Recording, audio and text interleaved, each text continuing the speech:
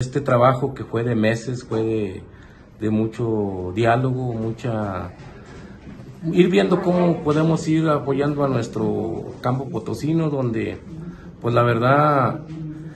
es una alternativa más para, más para la zona donde está muy fuerte el problema de las plagas, el dragón amarillo en las casas, en el caso de los cítricos.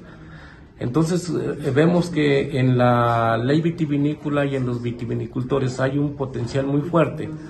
porque sin tener una ley hasta el día de hoy San Luis Potosí acaba de participar en una en una este en una participación donde estamos en los primeros lugares de, de los mejores vinos de,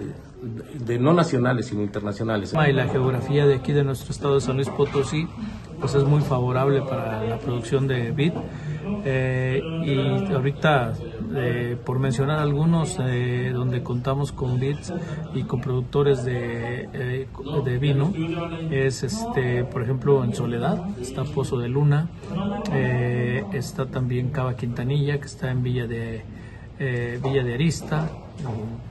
ahí junto a Moctezuma también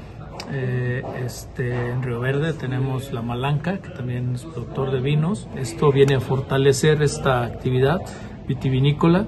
y, y con esto esperemos que se le dé gran difusión y promoción a nuestro vino potosino.